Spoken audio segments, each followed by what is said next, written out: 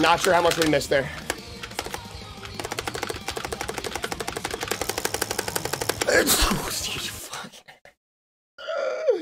Fuck this, dude. Oh my god.